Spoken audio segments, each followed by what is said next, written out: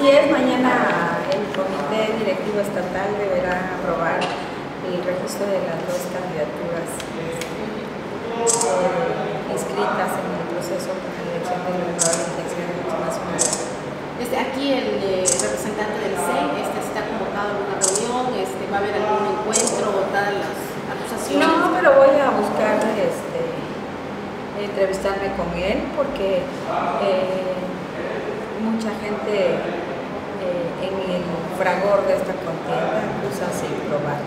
La pena ajena y las supuestas eh, pruebas que tienen no tienen ninguna fundamentación y es, eh, es un recurso nada ético en esta contienda, pero bueno. Después de esto, de la contienda, procederías en contra de quienes han eh, Pues, mira, las grabaciones y las intervenciones de las vías, ustedes saben que son delitos penales. Eh, me informaron que esas grabaciones quisieron llegar a un medio, un panista las entregó físicamente en el partido.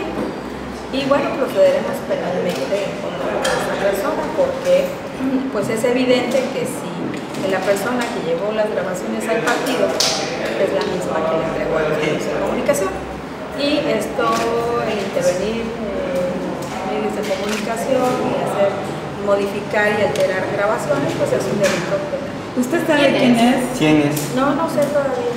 Me dijeron, todo se maneja, ustedes saben, la industria del rumor es muy exitosa aquí en Campeche.